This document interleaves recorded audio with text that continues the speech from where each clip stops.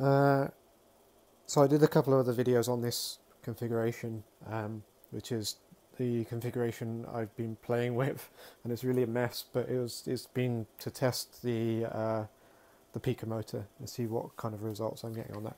But while I have the setup um, here, I wanted to just document uh, the alignment uh, procedure that I, I did on this because it seemed to work surprisingly easily, and I want to be able to compare this to what it what happens next time. So I want to have a video um, that just kind of shows what the alignment looked like this time.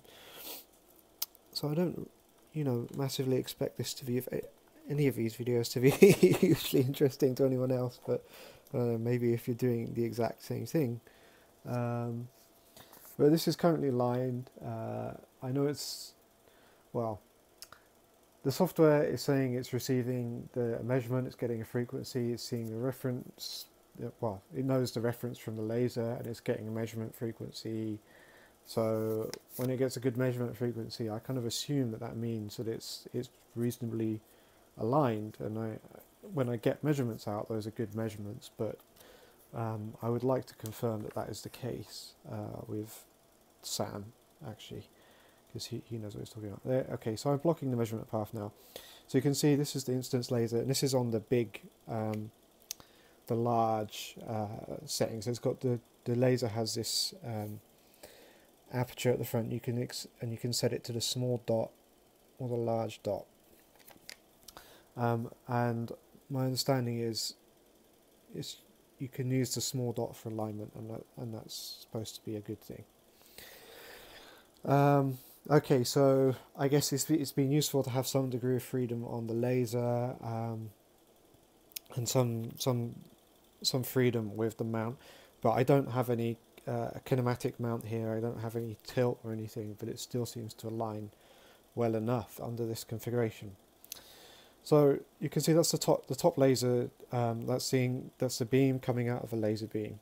So you use bits of paper and you can see this little if I just block it completely you'll see one you can see one dot um, you can see this one dot on the on the paper. Okay and that's because I'm blocking the the the beam coming out of laser it's, it's not going to go anywhere it's not going to reflect back. If I come in from the bottom you can see these two dots very close to each other here. Right and those will disappear when I when I uh, move the piece of paper up, and it will as as I block the the beam coming out of the laser. So these two dots, um, one is the reference beam. I feel like I got a, a small electric shock then. um, uh, one is the yeah, one is the reference beam and one is the measurement beam. So the, the laser is coming out here it's going into the interferometer, it's bouncing around, the reference beam bounces around, comes out, and the measurement beam uh, bounces down onto the mirror and comes out. So one of those is the um, uh, is the reference dot, and one of them is the measurement dot. And we can figure out which one is which uh, by blocking the measurement beam. So I get another random piece of paper and just stick it um, you can't really see, but I'm sticking it under. No, let's see if I can tilt down that a little bit.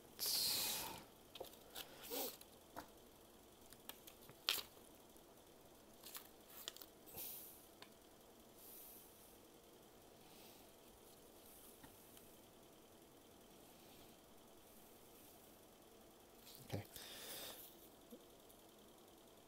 So you can see the two the two dots here still.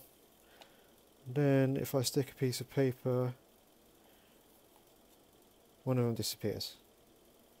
So it's the lower of those two boxes disappears, disappearing. So you know that's that's one of the uh, measurement.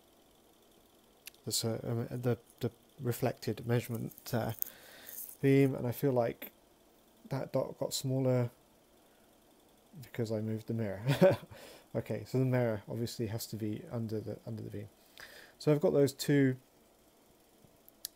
uh, dots. And if I move this around, if I move the interferometer around, um, both the reference dot and the measurement measurement dot will kind of move, and then I can just get them kind of on. You know, I can move the uh, the interferometer so they're kind of on top of each other. And I've also got some freedom in the laser. I can move the laser so that they're kind of on top of each other. Um, yeah, and in this system, that's about it. So that's, you know, that's all, all I need to do is get those dots basically on top of each other. Now, um, they're not very they're not very nicely on top of each other. You can see you can still see that they're overlapping, um, but they're by no means perfectly overlapped. Um, but if I look over the computer, I am getting a measurement signal, um, and I believe if I if I reset that, that will still be fine. But even so, um, you know, I can once I've got them aligned with the small aperture, um, I'm then on the laser going to move to the larger aperture. And then you get much more of an overlap because the beam is bigger anyway. And then that gives you a much stabler, um, a stabler system, and it, you know you don't lose, you don't use the uh, uh, measurement signal anymore. So that was it. I just wanted to document that um, so next time I come to, to try and do an alignment, uh, I can at least kind of compare it to this. I'm not by any means certain that this is correct. I'm new to using interferometers, um, but it does it seems to work, and I, I do seem to get measurements that are um, what I expect to see. So there we go.